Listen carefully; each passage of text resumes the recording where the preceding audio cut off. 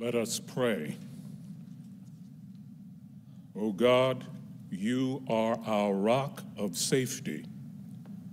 Protect us in an unsafe world.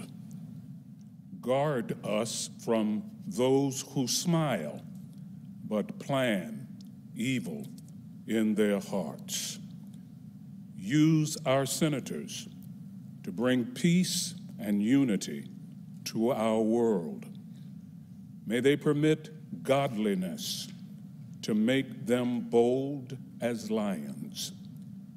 Give them a clearer vision of your desires for our nation. Remind them that they borrow their heartbeats from you each day.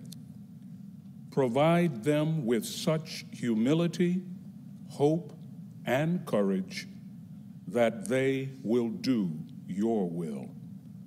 Lord, grant that this impeachment trial will make our nation stronger, wiser, and better. We pray in your strong name. Amen.